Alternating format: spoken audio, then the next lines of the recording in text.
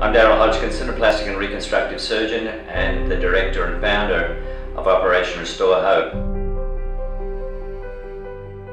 A cleft lip and a cleft palate are congenital deformities which present at birth in children.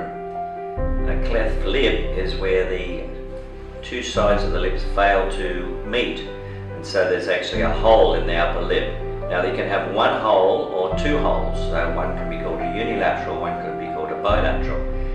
Alone or associated with a cleft palate. The cleft palate is actually a hole between the two parts of the roof of the mouth so that there's a, a large communication between the mouth and the nose and the biggest problem with the cleft palate besides feeding is that your development of speech will be very delayed.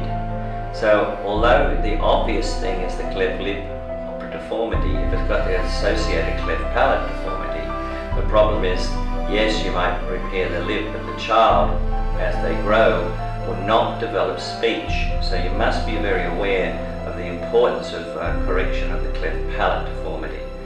There's a timing in this, so the timing must be done early because as a child is developing speech, they're developing techniques for future speech and articulation from very early on.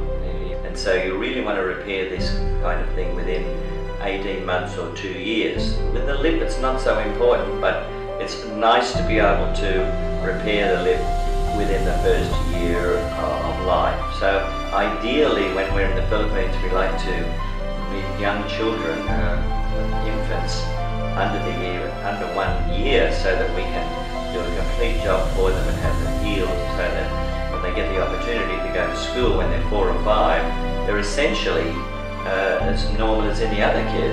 Uh, the fact that they might have a scar on their lip or their nose might be a little deformed doesn't really matter uh, because uh, that sort of thing can be secondarily repaired later on. But the, the, the amazing amount of improvement on their socializing and the fact that their parents are absolutely delighted they have a near normal child um, when they repair their lip and their palate.